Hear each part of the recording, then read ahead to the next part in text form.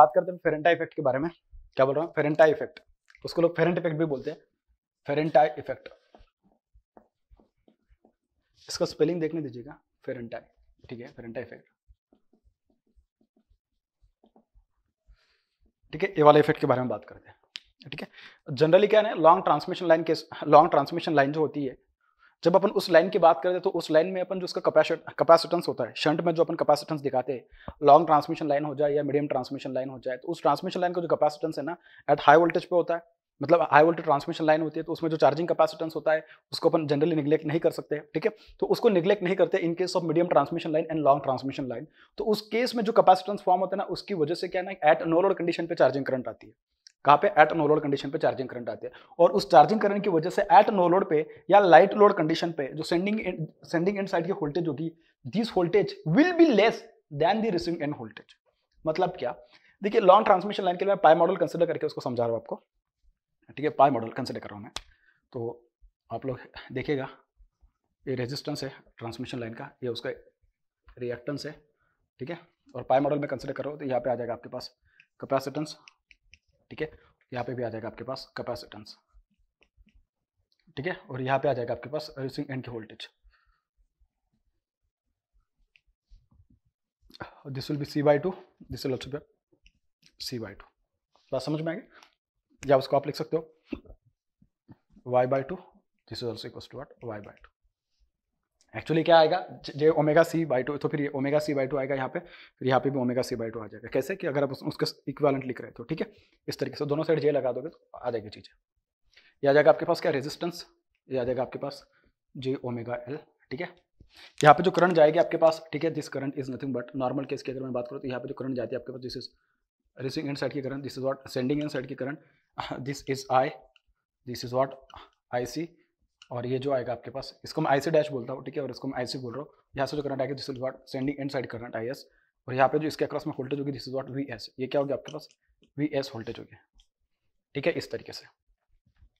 अपन जो transmission line parameter लिखे इसके पहले तो इसके वो पैरामीटर अपन कैसे लिखे थे? बट अपन कैसे लिखे थे उनको? अपने लिखे थे कि a V S is equal to what A V R plus what B times of I R similarly I S is equal to what C V R plus what D times of I R plus what D times of I R इस तरीके से, ठीक है?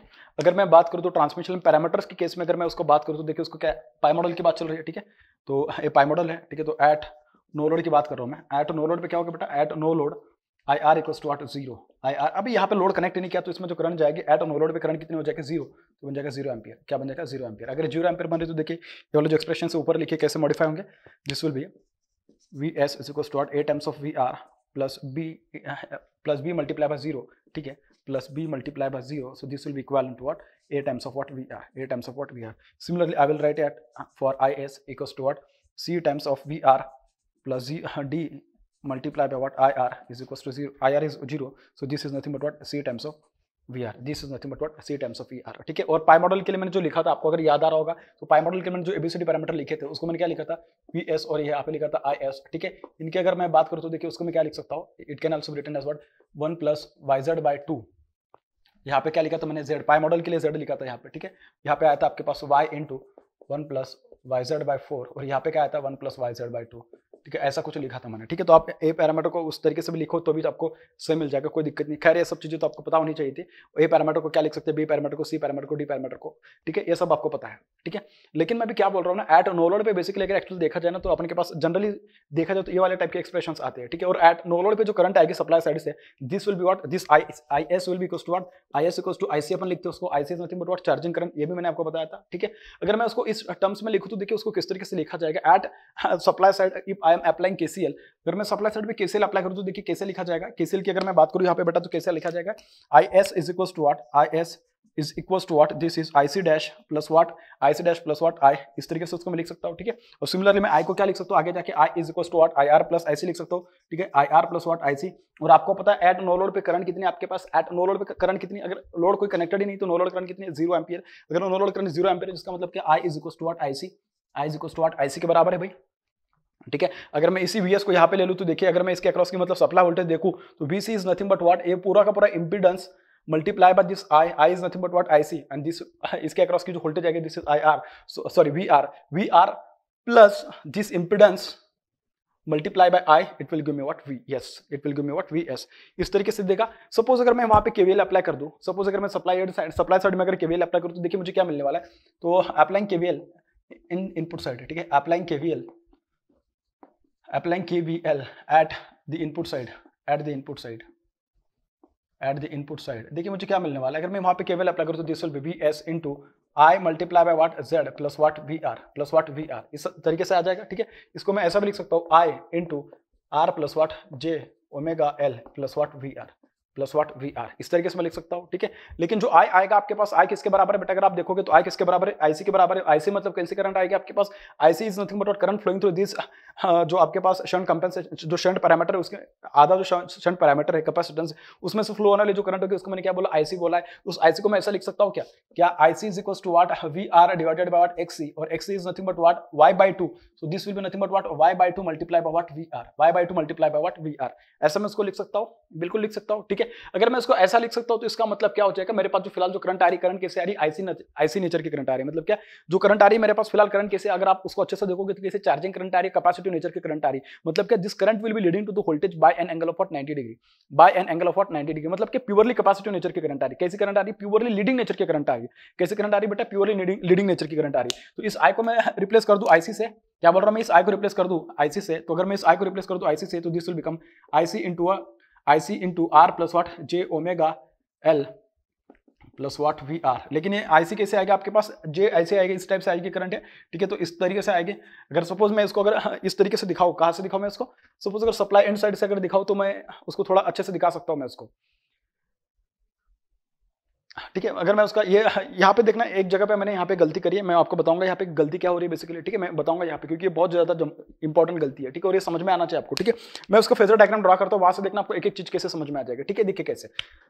अभी तक मैंने जितनी भी बार आपको फेजर डायग्राम ड्रा करने के लिए बताया तो उसमें देखिए मैंने क्या कंसिडर किया, जो जो रिसीविंग एंड की वोल्टेज थी, उसको मैंने रेफरेंस माना था और जो आपके पास सेंडिंग एंड वोल्टेज होती थी, मैं उसको फाइंड करता था। मेरी बात समझ में आ रहा है आपको? ठीक है। अगर ऐसा होता तो उस टाइम पे मैंने ये भी बोला कि जब भी अपन फेजर डायग्राम ड्रा करते तो जो अपन वोल्टेज कंसिडर करते हैं these are per phase quantities और जो करंट आते कैसे आपके पास पर फेस वैल्यूज़ आते हो भी। मतलब करंट भी पर फेस वोल्टेज भी per phase and these are the RMS quantities these are the what RMS quantities अगर ऐसा होता तो उस टाइम पे मैंने बोला था कि सपोज़ अगर मेरे पास यहाँ पे अगर वोल्टेज अगर मैंने वी आर को क्या मान लिया? रेफरेंस मान लिया। मैंने क्या मान लिया? वी आर को रेफरेंस मान लिया। अभी जो वी आर है मेरे पास जो रेसिंग इनसाइड वोल्टेज उसको मैंने रेफरेंस मान लिया, अब इसमें से जाने वाली करंट अब मुझे देखने की वी आर के अक्रॉस में जो करंट आ रही है, वो करंट कौन सी है? अब मैंने आपको इतना बोला, उसके अकॉर्डिंग तो आपको मेरे हिसाब से समझ में आई गया होगा कि जो फ़िलहाल जो करंट आ रही है सर्किट में, सिर्फ़ एक ही करंट आ रही है, क्योंकि आई आर की करंट तो ज़ीरो है। इसका मतलब क्या? जो भी करंट आ रही प्योर कौन सी करंट आ रही कैपेसिटिव नेचर की करंट आ रही मतलब लीडिंग नेचर की करंट आ रही इसका मतलब ये जो आईसी होगा आईसी क्या होगा? वी आर को प्योरली नाइनटी डिग्री लीडिंग होगा। वी आर को क्या होगा बेटा? प्योरली नाइनटी डिग्री लीडिंग होगा। मेरी बात समझ में आ रही है आपको? बिल्कुल ठीक है। अगर आपको इतना समझ में आ रहा है तो देखिए ये क्या होगा आपके पास this will be nothing but basically ये क्या आएगा आपके पास आईसी करंट आएगी। कैसे करंट आएगी? आईसी करंट आएगी। बात समझ में आ रही है? अगर आईसी आ रही है तो मुझे एक बात बोलो। अगर ये करंट आईसी आ रही है तो मुझे एक बात बोलो। ये कैसा करंट आएगा? This will be what IC into R plus J omega इसको मैं डायरेक्टली एक्सेल लिख दो XL into what IC plus what V R मैं उसको ऐसा लिख देता हूँ, ठीक है? IC V R plus IC R plus what J times of IC into what R plus what I C into omega X actually I C into what X C इस type से। यहाँ पे एक जगह पे मैं गलती बोला था। गलती क्या है? उस आईसी को तुम कैसा लिखोगे so that it will show you the actual behaviour so that what it will show the what actual behaviour मैं, मुझे ये बताना है। ठीक है, मैं उसको दिखाने के लिए एक और तरीका बताऊँगा आपको। देखिए, ये क्या आपके पास? अगर आप उसको देखोगे ना आईसी को मैं क्या लिख सकता हूँ? आईसी को देखिए कैसे लिखा जा सकता है। एक और तरीका मैं उसको बताऊँगा आगे। डोंट वरी अबाउट इट ठीक है वी आर है। वी आर के इसमें क्या करना पड़ेगा? मुझे आईसी प्लस आर को ऐड करना है। लेकिन आईसी कैसा ये आईसी ऐसा है। तो एक्जैक्टली उसके पैरल में आ जाएगा भैया। ठीक है तो ये क्या मेरे पास आ जाएगा? This will be nothing but IC into R इस तरीके से आ रहा है मेरे पास है ठीक है? ये क्या मेरे पास आईसी इंटू आर इस तरीके से आ रहा है भाई? बात समझ में आ रही? सिमिलरली मैं क्या करूँगा? J times of what IC plus XC ऐसा मैं बोल रहा था। अब देखना क्या होगा? अगर मैं इसका, अगर इसका अगर इसका और इसका अगर मैं देखू, उसको तो देखिए, उसको कैसा लिखा जा सकता है? इसको मैं क्या लिख सकता था directly V R plus J times of I C into what R और इसको माइनस जे टाइम आ जाता है, ठीक है? तो ये कैसा आता है? एक्जैक्टली उसके अपोजिट में आ जाता है भैया, ठीक है?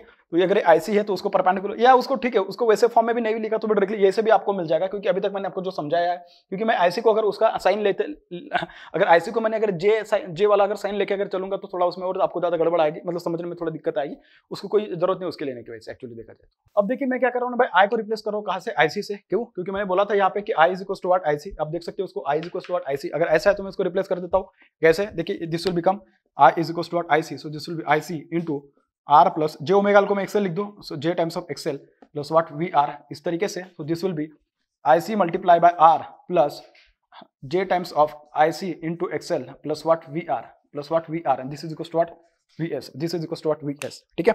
देखिए, अभी तक मैंने जो भी आपको पढ़ाया, उसके अकॉर्डिंग मैंने क्या बोला, जब भी मैं फेजर डायग्राम ड्रॉ किया हो तो मैं रेफरेंस क्या लेता था? रिसिविंग एंड वोल्टेज लेता था। यहाँ पे भी मैं जो रेफरेंस लेने वाला हूँ that is nothing but receiving end voltage अगर मैं उसको रेफरेंस ले रहा हूँ तो देखिए मैं उसको कैसे दिखा सकता हूँ? देखिए, मैं उसको कैसे दिखा सकता हूँ?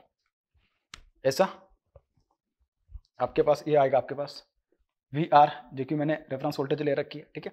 अब सर्किट में जो करंट आ रही है, आपके पास सिर्फ़ एक ही करंट आ रही है। कौन सी करंट आ रही है आपके पास? The current which is coming into the picture in this particular circuit is only the current कौन सी करंट है आपके पास ये? चार्जिंग करंट है। क्योंकि यहाँ पे तो करंट जा रही है zero ampere so I is equal to what I C and I S is equal to what I I is equal to I C. तो तीनों करंट कैसे आ रहे हैं आपके पास? देखा जाए तो तीनों करंट सेम है तीनों करंट कौन सी है? सेम है। कौन सी कौन सी current I is equal to I S is equal to I which is equal to I C इसका मतलब क्या करंट कैसे आ रहे हैं? प्योरली कैपेसिटी नेचर के करंट आ रही है which is equal to 90 degree leading to what receiving end voltage क्यों? क्योंकि जो उसके अक्रॉस में जो वोल्टेज आ रही है, किसके अक्रॉस में? कैपेसिटर के अक्रॉस में. That is nothing but receiving voltage तो उसकी जो रिसीविंग एंड वोल्टेज होगी, इस वोल्टेज को क्या करेगी? कैपेसिटर करंट 90 डिग्री लीड करेगी. अगर 90 डिग्री लीड कर रही है तो भाई मैं उसको यहाँ पे दिखा दूँ. कैसा? So this will be what IC which is 90 degree leading to the what receiving end voltage अगर ऐसा है उसके बाद मैं क्या करूँगा? देखिए, मुझे क्या करना पड़ेगा? आईसी इंटू आट आर लिखना पड़ेगा, ठीक है? तो ये आईसी वाला कंपोनेंट है, उसके एक्जैक्टली इन फ़ेज़ में VR में उसको ऐड कर रहा हूँ मैं तो ठीक है, उसको ऐसे ऐसा लिख देता हूँ मैं, ऐसा लिख दू उसको मैं।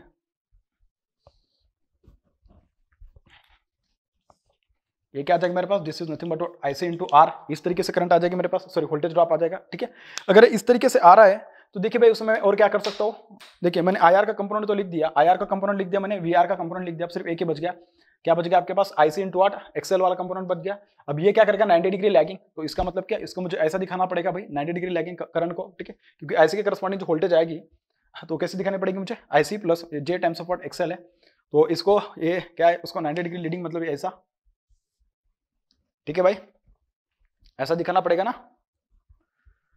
क्योंकि यार आईसी करंट है तो उसके करस्पॉन्डिंग जो वोल्टेज आएगा वो तो 90 डिग्री लैगिंग आएगी ना।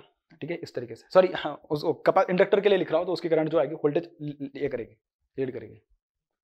एक मैंने लिख दिया। देखिए भाई, मैंने जैसे वीआर का वैल्यू दिखा दिया, अब मैं क्या पता करूँगा आईसी इंटू आर को लिखूँगा। अब देखिए आईसी इंटू आर क्या आपके पास ये रेजिस्टिव ड्रॉप है तो रेजिस्टिव वोल्टेज जो आते हैं, आपके पास कैसे होते हैं? इनफेज विद वोल्टेज होती है।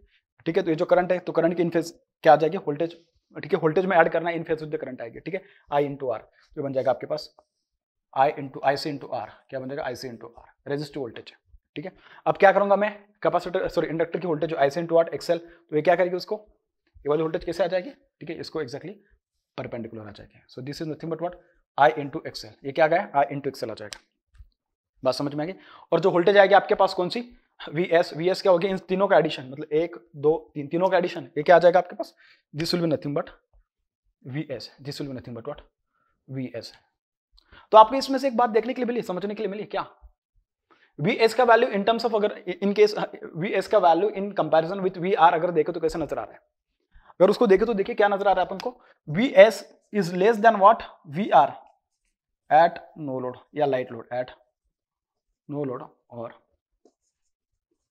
light load and this is happening because of what this is happening because of what Ferranti effect because of what Ferranti effect तो फेरेंटा इफ़ेक्ट अपन को बेसिकली क्या बोलता है? वो इफ़ेक्ट अपन को बोलता है कि अगर लाइट लोडेड या नो लोड कंडीशन होगी तो उस केस में जो सर्किट में करंट आएगी, कौन सी करंट आएगी? चार्जिंग करंट आएगी आपके पास। चार्जिंग नेचर की करंट आएगी कैपेसिटी नेचर की करंट आएगी आपके पास। और अगर इस टाइप की करंट आ रही तो उसके करस्पॉन्डिंग जो वोल्टेज आएगा आपके पास, वो वोल्टेज रिसिंग एंड साइड का that will be more than the what sending end side voltage इसका मतलब क्या? रिसिंग एंड साइड की वोल्टेज अगर सेंडिंग एंड साइड की वोल्टेज से अगर ज़्यादा होगी तो उस केस में अपने पास जो इफ़ेक्ट देखने के लिए मिलेगा that will be what it will be nothing but Ferranti effect और फेरेंटा इफ़ेक्ट में जो आपके पास जो वोल्टेज ड्रॉप देखने के लिए मिल रहा है यहाँ पे एक्चुअली वो कैसे देखने के लिए मिल रहा है? ये सारे के सारे वोल्टेज ड्रॉप जो है ना मतलब कि ऐड होते जा रहे हैं। किसमें रिसिंग एंड वोल्टेज में ऐड होते जा रहे हैं? वो इस तरीके से ऐड होते जा रहे हैं कि उसके मतलब एक्चुअली ऐड नहीं हो रहे मतलब अगर इसको देखा जाए ना तो मतलब एक्चुअल देखा जाए तो वाली वोल्टेज उसको कम करनी चाहिए। एक्चुअल नॉर्मल केस में क्या होता है ना V S minus this minus this ऐसा होता है, उसके बाद वी आर आता है। लेकिन एक्चुअली इसमें देखा जाए तो उसमें ऐड होते होते उसको वहाँ अपन जा रहे हैं, बस वो उसके फ़ेज़ अपोजिशन में आ रहा है। उसके चक्कर में मतलब उसकी वजह से क्या हो जाएगा आपके पास? वी एस का जो वैल्यू आ रहा है वी एस का वैल्यू कैसा आ रहा है? वी आर के कंपेरिजन में बहुत ही छोटा आ रहा है एट नो लोड कंडीशन पर ठीक है तो ये वाली बात बहुत इंपॉर्टेंट है, क्योंकि इसके रिगार्डिंग अपन को बात पूछी जाती है और अपन को पूछेंगे कि अगर इस इफ़ेक्ट को अपन को कम करना है तो उस केस में क्या करना पड़ेगा? देखिए, मैंने इसके पहले आपको जब कंपेंसेशन जब समझाता तो उस टाइम पे मैंने बोला था कि जब क्या होता है ना at light load at light load at light load at light load V R is greater than V S ठीक है? समझ में आ रही बात? इसका मतलब क्या, जो इंडक्टिव कंपनसेशन होगा, उसको लगाना वहाँ पे ज़रूरी होगा, क्योंकि इंडक्टिव कंपनसेशन क्या करेगा? जो चार्जिंग करंट है मतलब चार्जिंग करंट है एक्जैक्टली उसका अगर इफ़ेक्ट को अपन को नलीफाई करना है तो उसको क्या करना पड़ेगा? इंडक्टिव करंट का, वहाँ पे रहना बहुत ज़रूरी है, ठीक है? अगर इंडक्टिव करंट अगर अपन उसमें लगा देंगे मतलब क्या, अगर जो रिसिंग एंड साइड है, वहाँ पर अगर अपन सपोज़ इंडक्टर लगा देंगे तो वो क्या करेंगे? जो फ्रंट इफ़ेक्ट है, उसको, जो इफ़ेक्ट आ रहा है, उस इफ़ेक्ट को क्या कर देगा? कम कर देगा। तो सपोज़ एक्जैक्टली उसके पैरल में अगर मैं इंडक्टर लगा दिया तो कैपेसिटर की वजह से आने वाली करंट कौन सी थी? आपके पास आईसी की नेचर की थी। अब ये क्या कौन सी करंट आ जाएगा इसमें? इसमें कौन सी करंट आएगी? इसमें आएगी जे सॉरी इसमें माइनस जे टाइम्स ऑफ़ इसमें जो करंट एंटर करेगी that will be what I L ठीक है? और जो इससे निकलेगी current okay so minus J times of I L ठीक है? अगर इस इफ़ेक्ट को अगर अपन को नलीफाई करना आएगा, या उसके इफ़ेक्ट की वजह से जो आने वाली रिसिंग इन वोल्टेज है, उसको अगर सेंडिंग इन साइड वोल्टेज के इक्वल अगर अपन को रखना होगा तो उसके लिए अपन को inductive compensation in parallel with what sending rising end side अपन को लगाना पड़ेगा so that it will reduce the effect of Ferranti effect बात समझ में आ गई? अब बात करते हैं नेक्स्ट टॉपिक के बाद